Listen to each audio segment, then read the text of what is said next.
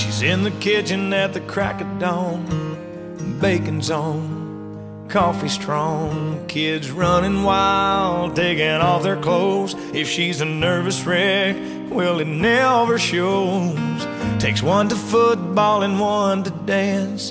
Hits the Y for aerobics class. Drops by the bank, stops at the store. Has on a smile when I walk through the door. Last to go to bed, she'll be the first one up. And I thought I was tough.